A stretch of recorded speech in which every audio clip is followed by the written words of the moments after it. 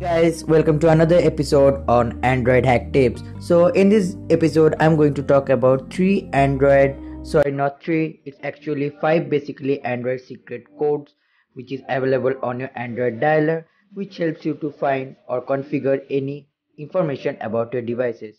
So what's up guys? It's nadri from ndhd just letting the video get started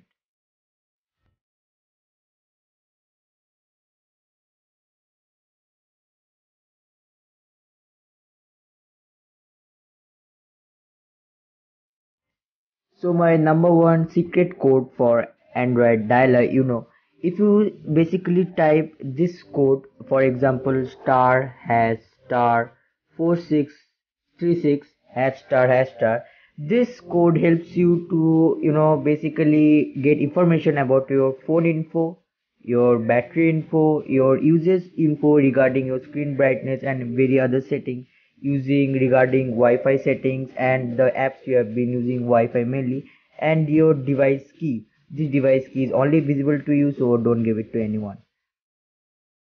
So my next code will be, it will also the same starting star hash star hash 0 star hash star hash star.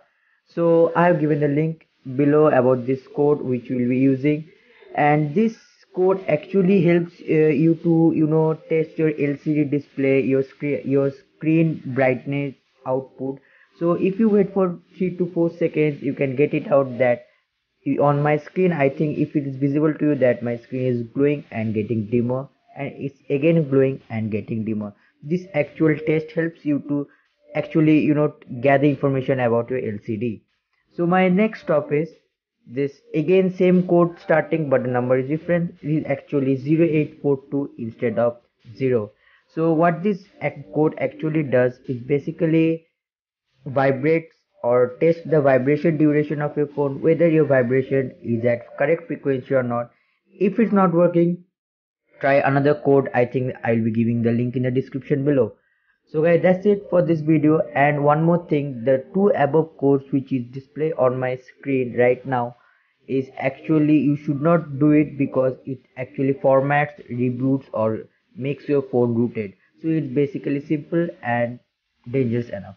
So guys that's it for my video. I hope you have liked it or enjoyed it. So if you do it please let me know in the comment section that these codes are very useful to you.